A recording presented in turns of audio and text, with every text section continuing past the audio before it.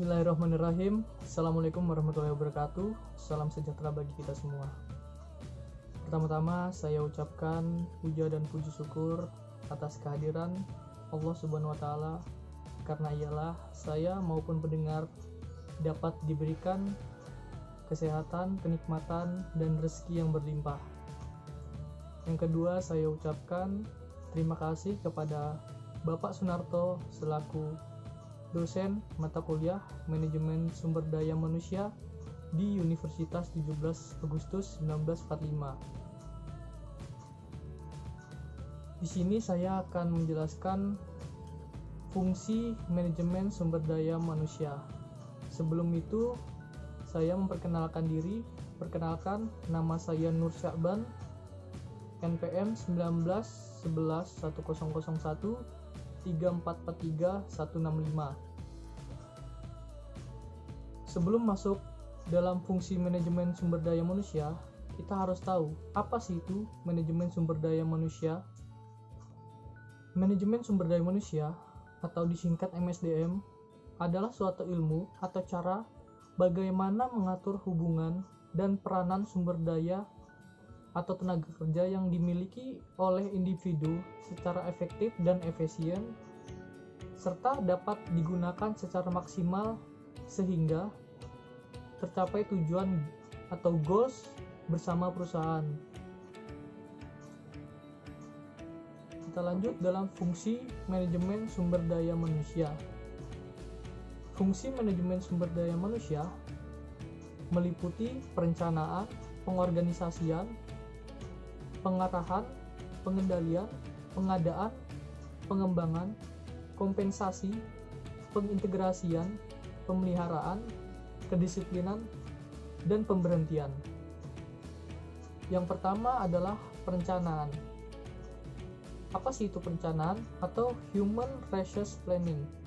Adalah merencanakan tenaga kerja secara efektif serta efisien agar sesuai dengan kebutuhan perusahaan dalam membantu terwujudnya tujuan. Yang kedua adalah pengorganisasian. Adalah kegiatan untuk mengorganisasi semua karyawan dengan menetapkan pembagian kerja, hubungan kerja, delegasi wewenang integrasi, dan koordinasi dalam bagian organisasi atau organization charts yang ketiga adalah pengarahan atau direction. Adalah kegiatan mengarahkan semua karyawan agar mau bekerja sama dan bekerja efektif serta efisien dalam membantu tercapainya tujuan perusahaan, karyawan, dan masyarakat. Pengarahan dilakukan oleh pimpinan dengan menugaskan bawahan agar mengerjakan semua tugasnya dengan baik. Yang keempat adalah pengendalian atau controlling adalah kegiatan mengendalikan semua karyawan agar mentaati peraturan-peraturan perusahaan dan bekerja sesuai dengan rencana. Apabila ter terdapat penyimpangan atau kesalahan diadakan tindakan perbaikan dan penyempurnaan rencana. Pengendalian karyawan meliputi kehadiran kedisiplinan perilaku, kerjasama, pelaksana pekerja, dan menjaga situasi lingkungan pekerjaan. Yang kelima adalah pengadaan atau prosesmen adalah proses penarikan, seleksi, penempatan orientasi, dan induksi untuk mendapatkan karyawan yang sesuai dengan kebutuhan perusahaan.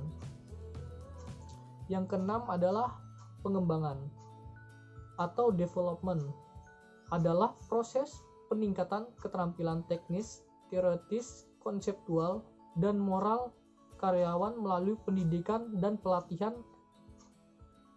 Pendidikan dan pelatihan yang diberikan harus sesuai dengan kebutuhan pekerjaan masa kini mau masa depan. Yang ketujuh adalah kompensasi atau compensation adalah pemberian balas jasa langsung dan tidak langsung. Uang atau barang kepada karyawan sebagai imbalan jasa yang diberikan kepada perusahaan Prinsip kompensasi adalah adil dan layak. Adil diartikan sesuai dengan prestasi kerja, layak diartikan dapat memenuhi kebutuhan primernya serta pedoman pada batas upah minimum pemerintah dan berdasarkan internal dan eksternal konsistensi. Yang kedelapan adalah pengintegrasian atau integration adalah kegiatan untuk mempersatukan kepentingan perusahaan dan kebutuhan karyawan agar terciptanya kerjasama yang serasi dan saling menguntungkan. Yang kesembilan adalah pemeliharaan atau maintenance adalah kegiatan untuk memelihara atau meningkatkan kondisi fisik, mental, loyalitas karyawan agar mereka tetap mau bekerja sama sampai pensiun.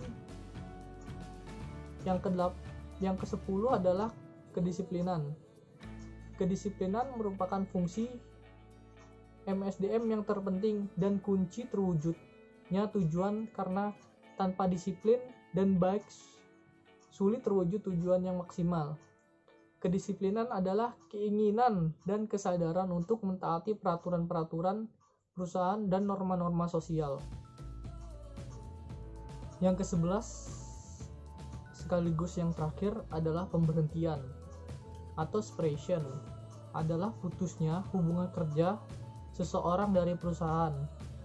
Pemberhentian ini disebabkan oleh keinginan karyawan keinginan perusahaan, kontrak kerja berakhir, pensiun, dan sebab-sebab lainnya.